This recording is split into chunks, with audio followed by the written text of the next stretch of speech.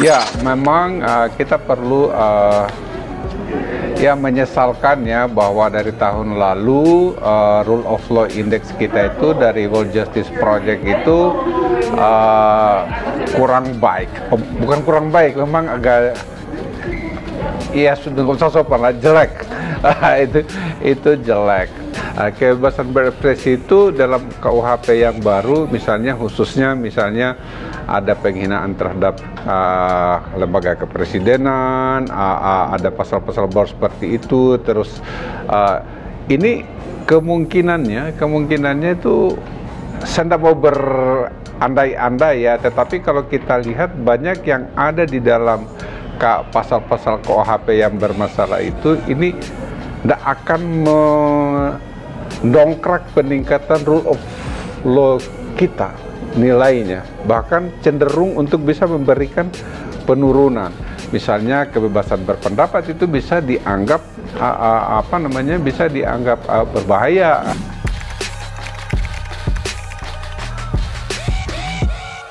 Jadi misalnya Pasal 218, setiap orang di muka umum menyerang kehormatan atau harkat martabat diri presiden atau wakil presiden. Ini kan uh, sekarang apakah orang harus berpikir dua kali padahal sebenarnya sudah ada juga pasal yang lain yang berlaku untuk secara umum. Nah, seperti kenapa harus ada pasal khusus uh, uh, untuk presiden dan wakil presiden. Padahal menurut catatan PSHK itu kan presiden tak punya fitur oh, oh, kan presiden itu jabatan. Yang jadi tidak mungkin dihina presidennya sebenarnya tapi orangnya yang harus tidak boleh dihina sembarangan.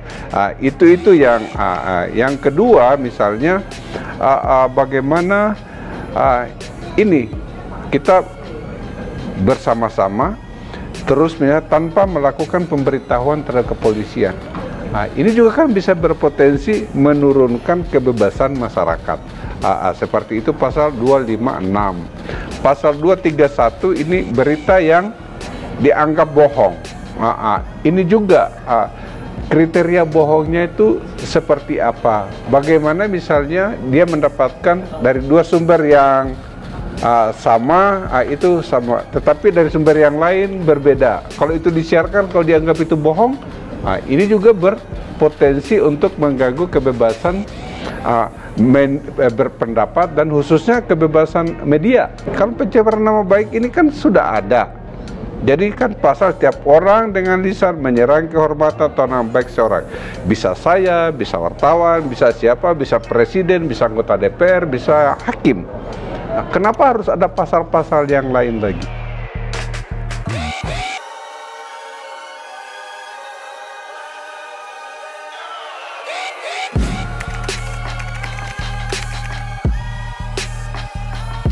Concern kita itu adalah soal yang paling banyak dinilai di, oleh Justice Project itu adalah independensi uh, uh, pengadilan.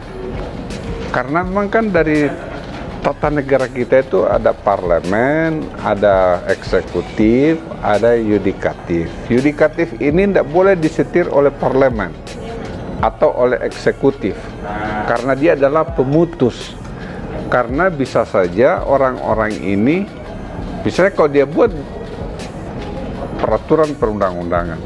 Tapi kalau hakimnya mengatakan tidak bisa atau bertentangan dengan konstitusi kalau untuk khusus untuk Mahkamah Konstitusi misalnya dia tidak boleh loh langsung me mecat atau tidak mendukung lagi. Itu betul-betul adalah misalnya penghentian Prof. Aswanto barusan itu adalah salah satu contoh bagaimana parlemen dan pemerintah uh, menunjukkan intervensi terhadap yudikatif. Uh, uh, jadi saya kurang tahu ini nanti kita lihat saja surveinya yang akan datang, tetapi uh, menurut prediksi saya kurang bagus. Walaupun kita selalu berharap bahwa Indonesia bisa menjadi lebih baik mm, tinggi nilainya.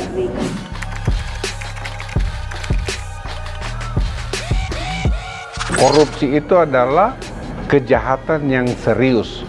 Bahkan ada orang mengatakan itu extraordinary. Kalau dia extraordinary bukan kan mirip genosida.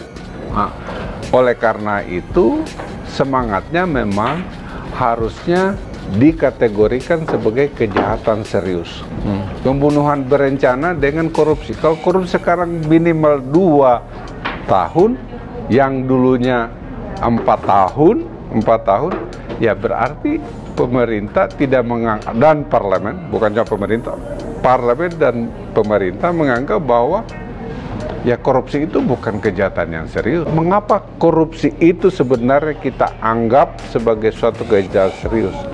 karena karena banyaknya korupsi, cita-cita negara untuk menciptakan Indonesia yang adil, sejahtera, dan makmur itu menjadi terhalangi. Ya, ini akan berpotensi uh, mengirim pesan kepada di luar sana bahwa korupsi itu bukan sesuatu yang serius lagi.